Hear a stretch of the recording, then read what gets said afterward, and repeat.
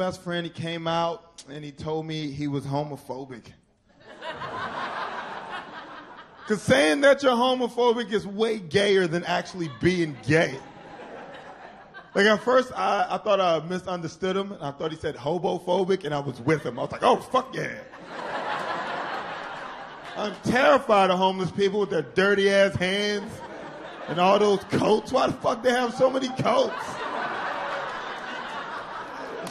Scary as shit.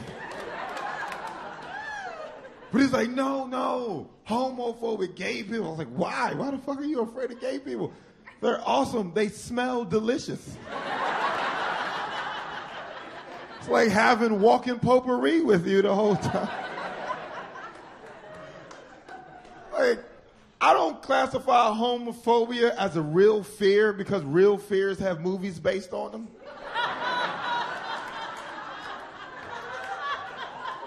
If you're afraid of monsters, horror. If you're afraid of black people, Tyler Perry movies.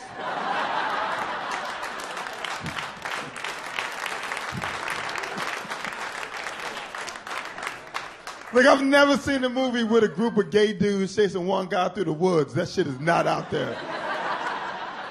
Like, get back here. You need to get in touch with your sensitive side.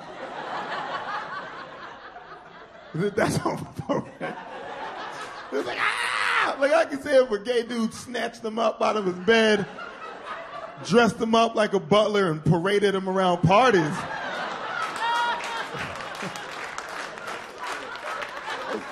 That's some scary shit to go through. Like, I wouldn't like them either, but it never happened. Like, this is the problem that I realize most people have with gay people is that they can't stop thinking about the sex. And anytime you think about sex you're not involved in, you're always against it. You,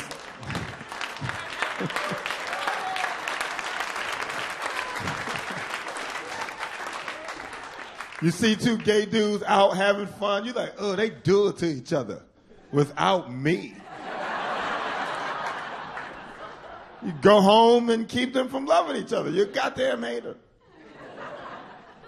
We're not the only species that have same gender sex. Bears do too. You don't see people protest in the woods. Like, my kids eat s'mores at these campsites. You take that shit upstream.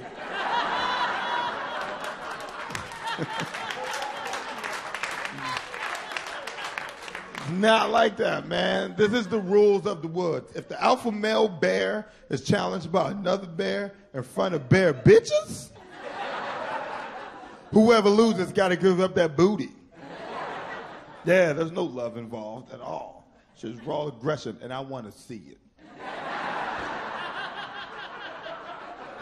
Just another bear, like teasing the bear that lost. Like, yeah, you know what to do. Assume the position.